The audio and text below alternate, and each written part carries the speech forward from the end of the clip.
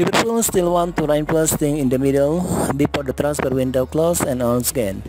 The name of Douglas Luiz in the limelight, according to Ben Jacob.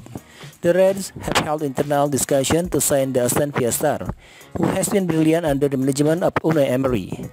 The renowned journalist told GiveMeSport that the that no movement has been made thus far for the 25 years old the 25 million pound star. He said, Douglas Luiz is a name that has been discussed internally by Liverpool. I am not aware of any movement at this point. I think that it is crystal palace clear that Liverpool want to add between now and of the window if the right names become available. Douglas Luiz is a versatile talent who can effectively play in a defensive playmaker and can and, and even as creative midfielder in the center of the park.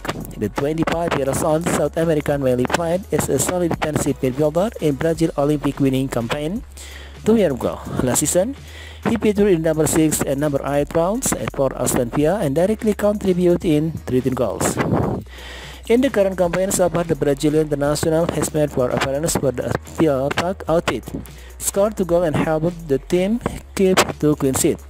Douglas Luiz deal with the Premier League side will expire in 2026, and he has the quality and the experience to strengthen your club midfield at NPL. In your opinion, South Club submit an offer to sign the Samba star?